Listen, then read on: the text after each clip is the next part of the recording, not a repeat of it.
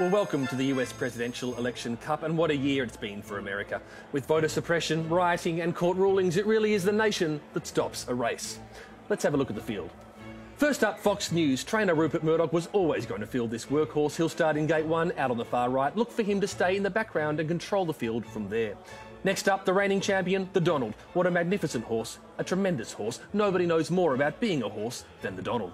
In gate three, it's Sleepy Joe. He's the oldest horse to ever compete in this race. Stablemate to former champion stallion, Yes We Can. He was destined for the glue factory, but now a clear front runner. In gate four, COVID, the Chinese mare, Look out for her. She's been a threat all year, as has a global recession in gate five.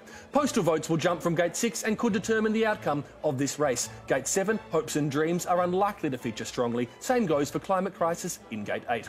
In gate nine, Supreme Court, a controversial late entry six days out. And in gate 10, the possibility of civil war. The old mare democracy is still in contention, but she will be ridden heavily by controversial obese jockey Electoral College.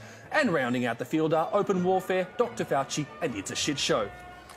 And they're boxed and ready I don't know if that was a starter pistol or an armed rider in Philadelphia. It doesn't matter because they are off and racing. Hopes and dreams in a good position early. So too democracy. Just back from democracy is the Donald and COVID going stride for stride. And Sleepy Joe is still bunkered down in his gate. A bizarre tactic from the veteran. No, wait, he's now on his way. Further back in the pack, it's a shit show with a global recession, climate crisis, and the possibility of civil war. Just behind them, Dr. Fauci is in a losing battle with COVID. And a couple of lengths back is postal votes being undermined. And at the rear, open warfare there.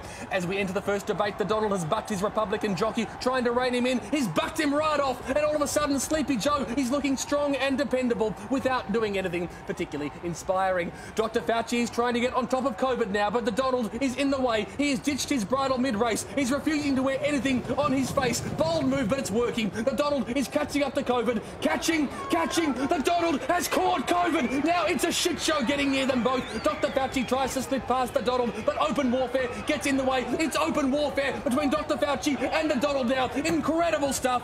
And back in the pack now, we have Supreme Court blocking postal votes with support from Fox News. The Donald is rallying hard, and they are all ganging up on democracy. Oh no, democracy has taken a nasty fall. The Electoral College is riding democracy hard into the ground. It's literally flogging a dead horse as they turn into the second and last debate. COVID, COVID, COVID. That's all anybody is talking about. It's rounding the corner, but it's not slowing down as predicted. If anything, it's accelerating.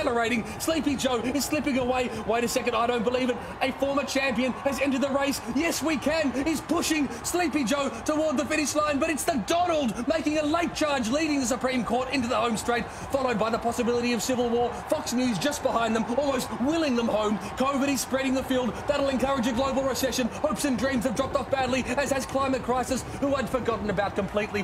Postal votes is making a late charge, but will it get there on time? There's only seconds left. It's Sleepy Joe and the Donald. They're neck and neck. The Donald is claiming victory before he's crossed the finish line. Sleepy Joe being a little more cautious, but either way, it doesn't matter because it's a shit show. His first past the post. That's right. It's a shit show. It's the clear winner in the US Presidential Cup. Congratulations to Atona 2020 and the whole team behind It's a Shit Show.